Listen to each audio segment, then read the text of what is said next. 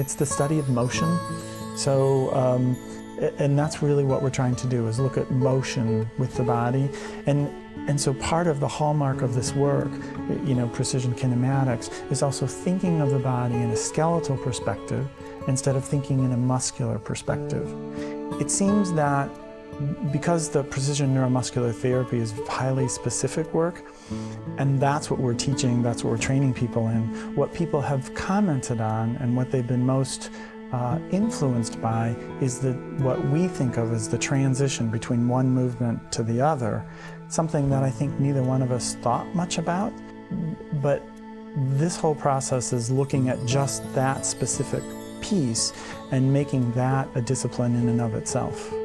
And I think the other component of this, which I think is important, is that in order to do this for us, we have to have this lightness of hands. The energy is probably the learning to listen and, and the paying attention part, but not physically demanding sort of thing. And I mean, in some ways, how wonderful is that?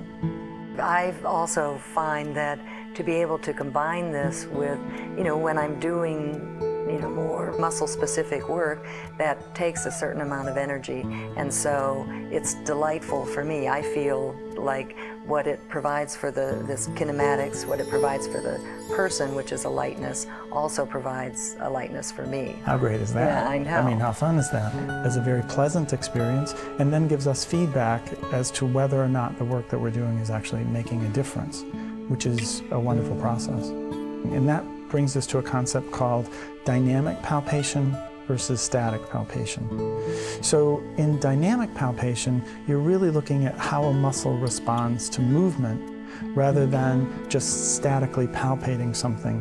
What kind of things are going on in the central nervous system when the joint is moving around?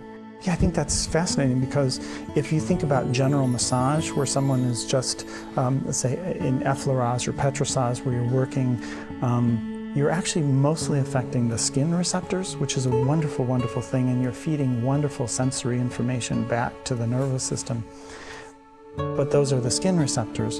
When we're actually picking up a limb or moving an arm, uh, moving a leg, you're actually also affecting the joint receptors. And that is giving this wonderful sensory information about the joint back to the nervous system, which it didn't have previously. And also just moving the joint is then washing the joint in synovial fluid, things that non-movement approaches really can't do in our movement work, we're actually having a conversation with the nervous system. And so I see this work as that conversation in the nervous system. And I think the process by that means that I'm not trying to force something on you that you don't want to do. So the work then becomes, it looks, I, I would think, almost playful. We should talk about the uh, element of pain-free? Is it, are we, where are we operating in terms of? Yeah, yeah, I think that's important.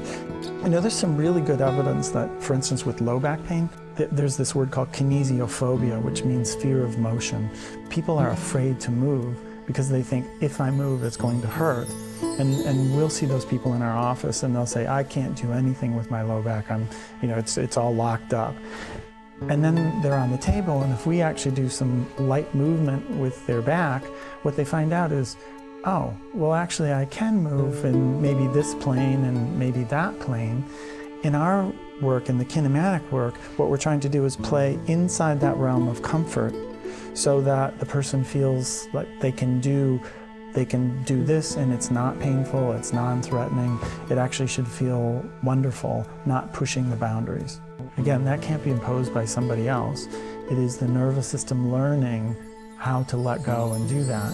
And, and again, I think when that nervous system learns, then I think that is then integrated into daily life.